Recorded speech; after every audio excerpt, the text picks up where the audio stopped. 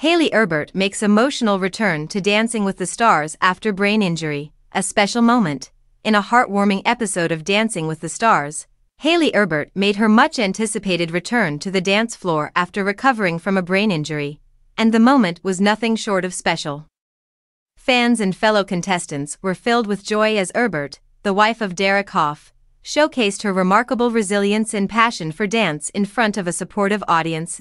Erbert's journey back to the stage has been filled with challenges, making her comeback even more significant.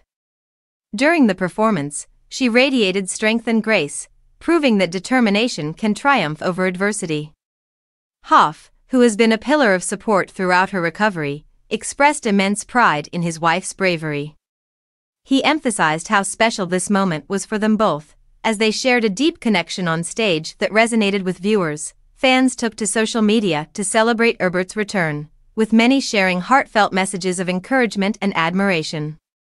Comments flooded in, praising her for her courage and resilience, calling it an inspiration to others facing challenges. Erbert's performance not only marked a triumphant return but also served as a powerful reminder of the healing power of dance and the unbreakable bond of love and support. As the couple takes on this new chapter, fans eagerly await what's next for them on DWTS and beyond.